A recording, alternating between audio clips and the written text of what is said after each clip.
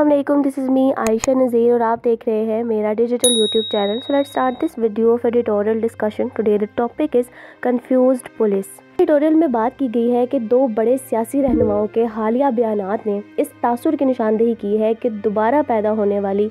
दहशत गर्दी से निपटने के लिए कोई सियासी माहिदा नहीं है। एक तरफ़ सबक वज़ी अजम इमरान खान, जिनके दौर में अफ़गानिस्तान से सरगर्म तंजीमों के साथ अमन मुजाकर शुरू किए गए थे, उन्होंने दलील दी है कि कलदम टीटीपी अपने पुराने रवश पर वापस चली गई है, क्योंकि इस्लामाबाद इनसे किए गए वादों पर अमल करने में नाकाम रहा है, जबकि दूसरी जानब मौजूदा वज़ीर खारजा बिलावल भुट्टो जरदारी ने तहरीक इंसाफ के हवाले से पी टी आई की पॉलिसीज़ को महज मुतमिन करार देकर तनकीद का निशाना बनाया है। अब हमारी सफ़ों में इस कदर उलझन है और इस उलझन में सबसे हैरान कर मुश्किल ये है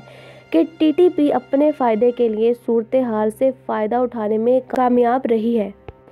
अब ये पाकिस्तान की अक्सर पसंदी के खिलाफ जंग में एक और पुरतशद बाप शुरू करने की धमकी देता है। ये कहना ज़रूरी है कि टीटीपी के बारे में मिसर खान का नज़रिया इस बात से बिल्कुल मुतसादम है कि दहशत गर्द तंजीम पाकिस्तान को किस तरह देखती है। इस ग्रुप के पास पाकिस्तानी रियासत या इसकी खुद मुख्तारी का बहुत का एहतराम या ख्याल है, जो फाटा के खैबर पख्तूखा में इंजमाम की इसके मुतालबे से ज़ाहिर होता है। टी टी पी ने पाकिस्तानी रियासत के साथ अपने मजकूरा बाला अमन मज़ाक में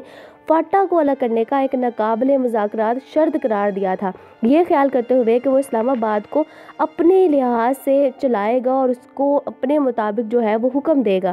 खैर मुजाकर के टूटने के बाद टीटीपी के पाकिस्तानी सिक्योरिटी फोर्सेस और कानून नाफिज करने वाले अहलकारों को निशाना बनाने वाले वहशियाना हमलों ने सिर्फ़ उसी सरजमीन के लिए नफ़रत को जन्म दिया और ख़ुद को आबाद किया, जहाँ के मुकामी लोग ज़ोरों शोर से और मुजाहरे कर रहे थे कि इनको यहाँ से निकाला जाए। लेकिन यहाँ तक कि मिस्टर भुट्टो जरदारी, जिन्होंने टीटीपी पर सख्त रवैया अख्तियार किया है, अफगान तालिबान के बारे में नर्म नज़र आए हालाँकि काबिल खामोशी से टीटीपी की सरपरस्ती करता हुआ नज़र आता है। अपनी सरजमीन से सरगर्म दहशत गर्दों पर लगाम लगाने में नाकामी पर अफ़गान तालिबान के ख़िलाफ़ सख्त मौक़ अख्तियार करने की बजाय वज़ी ख़ारजा उनके साथ बातचीत जारी रखना चाहते हैं ये मुतज़ाद पैगाम इसके संगीन वजूदी बहरान पर पाकिस्तान के रद्दमल को पचीदा बना रहे हैं अब यहाँ सिर्फ़ इतना ही कहा जाता है कहा जा सकता है कि वाजिया तौर पर यह एक और शोबा है जिसमें सियासी इतफाक़ राय की अशद ज़रूरत है